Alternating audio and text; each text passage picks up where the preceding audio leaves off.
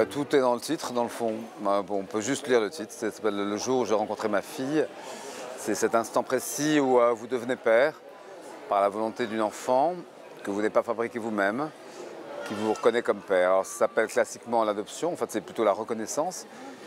Et parce qu'à partir de cette reconnaissance, euh, bah, le chemin d'adoption va se construire avec une petite africaine qui a 7 ans quand je la rencontre. Moi j'en ai un peu plus. Et pendant 3-4 ans, euh, ce chemin qui est très tortueux, très complexe, euh, d'un père, futur père célibataire qui adopte cet enfant parce qu'il ne peut pas faire lui-même des enfants. Donc à partir de la découverte de la stérilité, tout un travail sur un retour sur sa propre vie et, et puis cette espèce d'élément de miracle qui est la présence physique de quelqu'un qui cherche un père et le père cherchant lui-même un enfant. Voilà, c'est une rencontre.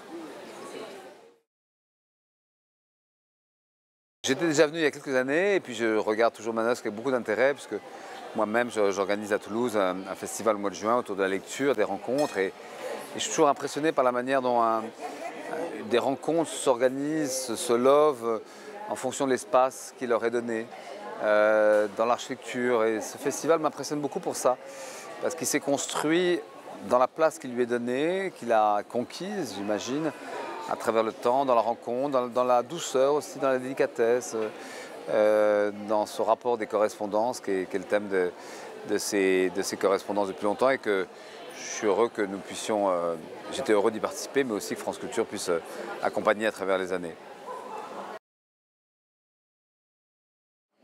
Probablement Henry Miller, parce que Miller a une très belle correspondance, il aimait écrire. il y a une très belle correspondance entre lui et quelqu'un que j'ai bien connu, qui est Laurence Durrell.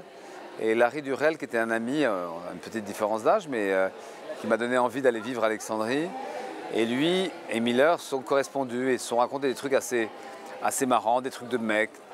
Et, euh, Miller, j'aurais bien aimé écrire des, lettres un peu crues sur ma vie. Parce que je pense qu'il m'aurait répondu sans problème et que lui-même m'en aurait envoyé des, assez formidables. C'est un vrai euh, homme de la correspondance, Henry Miller.